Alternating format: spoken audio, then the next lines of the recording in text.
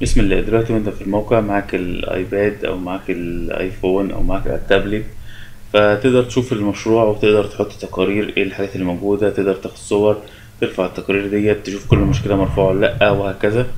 طيب فده ال Autodesk BIM 360 Field لو جيت هنا عند السهمين دول هتدوس عليها هيبدأ يعمل synchronization مجرد بس هتدوس على كلمة sync هو يبدأ يرفع الملفات ويعمل upload و download دلوقتي أنا هقول له cancel وبعد كده من على شكل الشخص دوت تقدر تختار ال user بتاعك وتقدر تختار المشروع اللي أنت تشتغل عليه.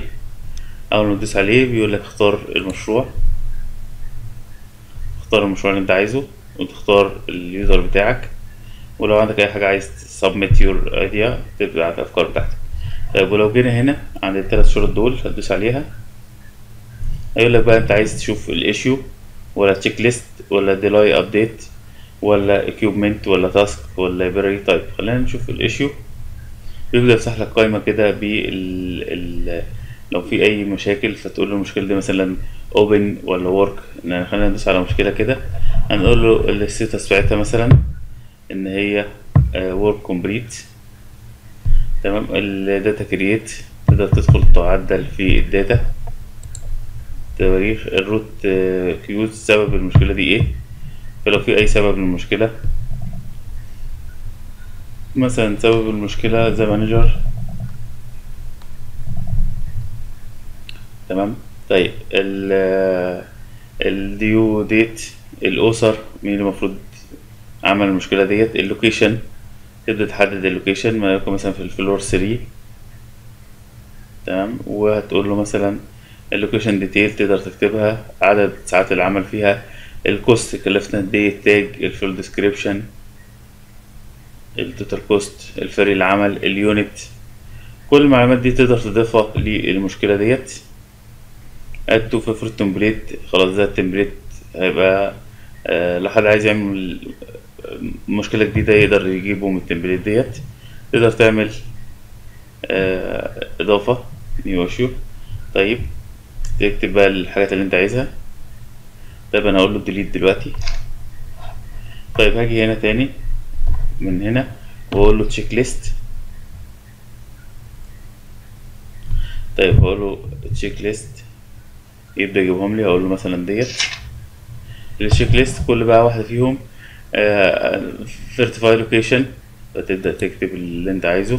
ممكن تقول له آه زائد ناقص اتعملت ما عنديش معلومة. تمام؟ تجاوب صح وغلط وهكذا.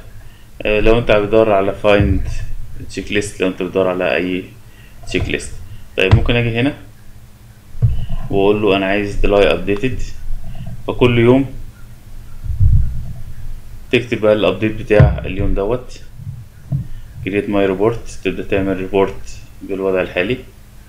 أه ال location كام؟ درجة الحرارة كام؟ ال visibility كل حاجة add note طبعا دي بتبقى مفيدة جدا إن أنت تبقى عارف سير المشروع كان عامل إزاي ال labor ال total hour تقدر تضيف هو يبدأ يحسب لك edit list تبدأ تحسب. ممكن تنسخ من أي update تانية لو في أي update ممكن تعمل publish تبعت ال update دي على النت بحيث إن أي حد من الشركة. مش أي حد ماشي في الشارع هيلاقيها يعني. طيب هاجي هنا وأقول له أنا عايز ال equipment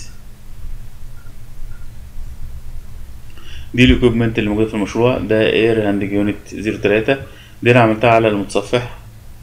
لو دوست عليها هيقول لي ال details بتاعتها المعلومات بتاعتها نوع المكنة وال description بتاعها وال location وال status وال pump size وال IDs ال barcode ال serial number tag number كل المعلومات الخاصة بالمكنة.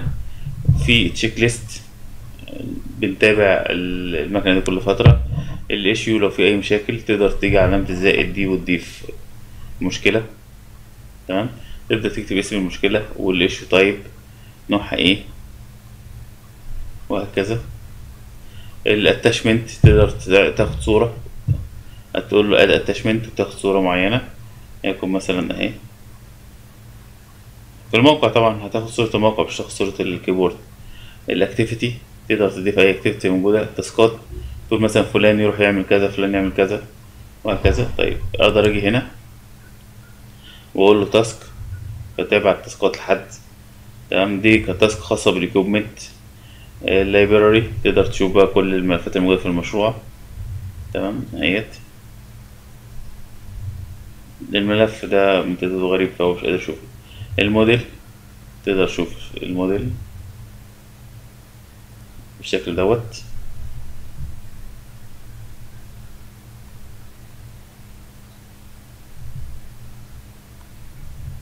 تقدر تشوف الموديل اهو على التابلت وانت في قلب الموقع ممكن تقول له فوتو وتبدأ تشوف الصور بالشكل دوت لو جيت هنا هتلاقي بعض الخصائص ال level أول حاجة ده بتشوف الحاجة بتاعتك مظبوطة ولا لأ. تمام الميل بتاعها. اللي بعد كده بنلاقي notebook ده بتكتب بعض الملحوظات. تقول له new تكتب بقى اللي أنت عايزه. وتقول له دم. وبعد كده الباركود ده لو في أي حاجة عندك معمولة بباركود بمجرد إن أنت تيجي عليها يبدأ يجيب لك كل المعلومات اللي أنت آه، محتاجها. مثلا في مكنة جديدة ففيها باركود فياخد المعلومات ديت ويجيب لك بقى تاريخ الم... ال- المكنة ديت والمعلومات الخاصة بيها وال... والضغط بتاعها وكل حاجة.